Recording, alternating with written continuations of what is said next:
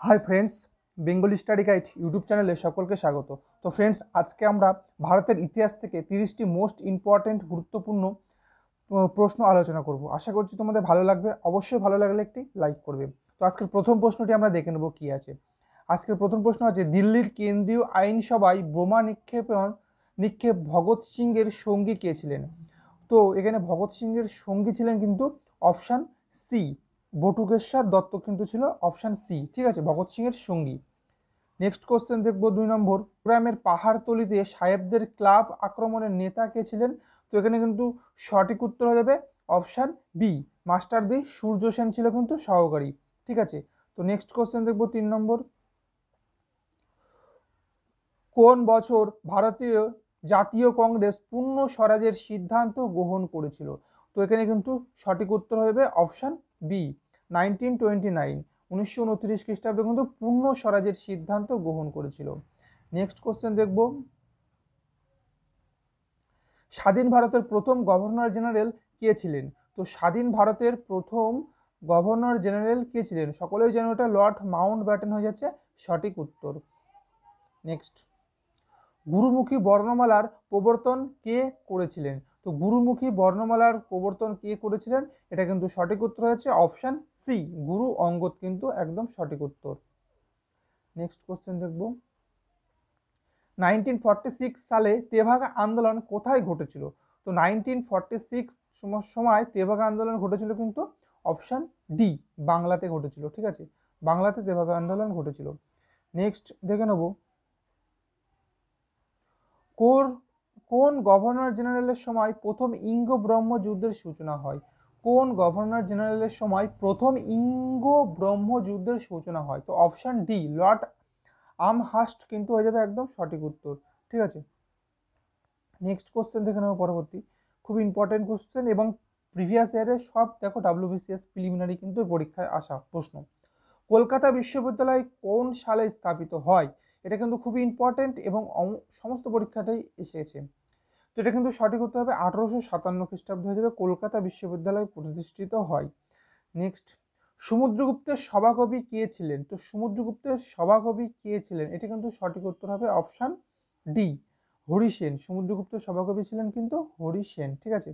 হরিসেন কিন্তু রাইট উত্তর।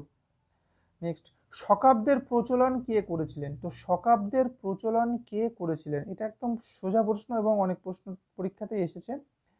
এখানে হয়ে যাবে কিন্তু কনিষ্ক অপশান ডি শকাব্দের প্রচলন করেছিল কনিষ্ক অপশান ডি সঠিক উত্তর। নেক্সট কোন সাংবাদিক সর্বতভাবে নীল বিদ্রোহকে সমর্থন ও সহায়ক করেছিলেন? তো এখানে কিন্তু সঠিক উত্তর হচ্ছে অপশান বি হরিশ হরিশ মুখার্জি হরিশ মুখার্জি হবে একদম সঠিক উত্তর।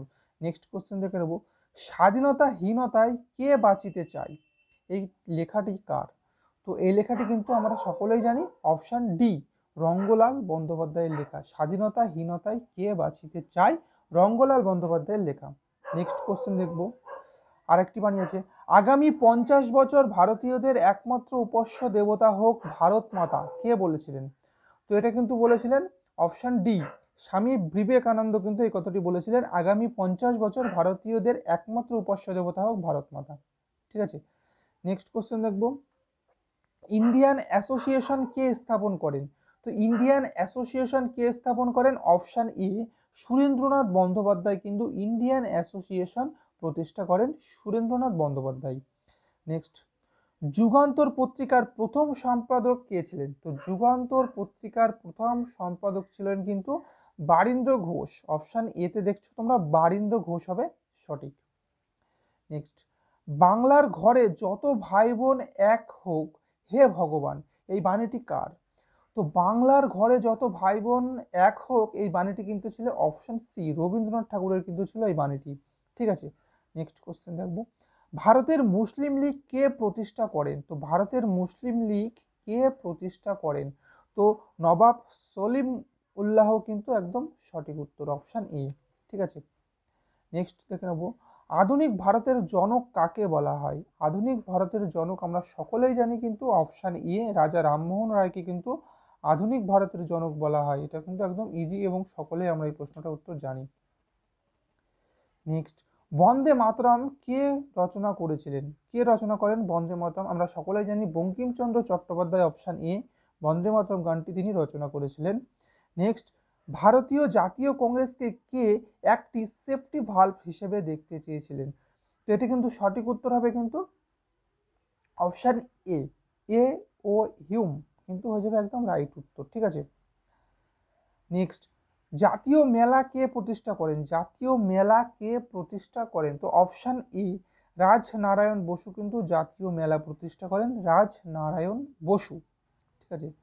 অনুশীলন সমিতি কে প্রতিষ্ঠা করেন? খুবই ইম্পর্টেন্ট একটি প্রশ্ন।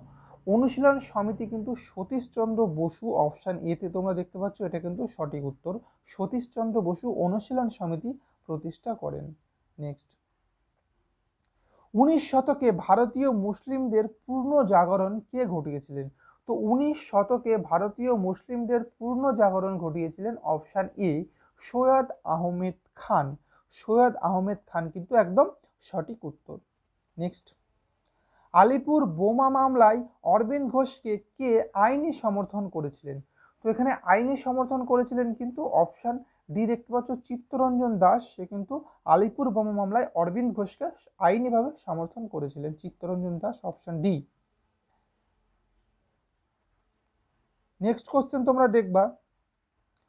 বান্ধব সমিতি কে প্রতিষ্ঠা করেন? খুবই ইম্পর্টেন্ট একটি প্রশ্ন এবং অনেকবার কিন্তু পরীক্ষায় আসছে এই প্রশ্নগুলো। এসেছে প্রিভিয়াস ইয়ারে ডাব্লিউবিসিএস তো বান্ধব সমিতি কে প্রতিষ্ঠা করেন? Option A Ashwini Kumar Dutta. কিন্তু বান্ধব সমিতি প্রতিষ্ঠা করেন। এবং নেক্সট ও আজকের লাস্ট কোশ্চেনটি আমরা দেখে নেব এখানে। চিরস্থায়ী ব্যবস্থা, নিম্নলিখিত ব্যবস্থার বৈশিষ্ট্য। তো কোন ব্যবস্থাটি চিরস্থায়ী ব্যবস্থা, নিম্নলিখিত বৈশিষ্ট্য? তো এখানে কিন্তু জমিদারি ব্যবস্থাটি হয়ে যাবে একদম সঠিক উত্তর। জমিদারি ব্যবস্থা কিন্তু নিম্নলিখিত ব্যবস্থা, যেটি চিরস্থায়ী ব্যবস্থার বৈশিষ্ট্য। তো এই ছিল আমাদের মোস্ট ইম্পর্ট্যান্ট তিরিশটি কোশ্চেন আশা করছি তোমাদের ভালো লাগবে। যদি ভালো লাগে অবশ্যই ভিডিওটি থেকে একটি লাইক করে দেবে এবং পরবর্তী কোন সাবজেক্ট তোমাদের প্রয়োজন এমন প্রশ্ন পেতে অবশ্যই একটি কমেন্ট করো। আর চ্যানেলে নতুন এসে থাকলে অবশ্যই চ্যানেলটিকে সাবস্ক্রাইব করে পাশে থেকে বেল ক্লিক করে রাখবে। তো ধন্যবাদ ভিডিওটি দেখার জন্য, ভালো থাকবেন।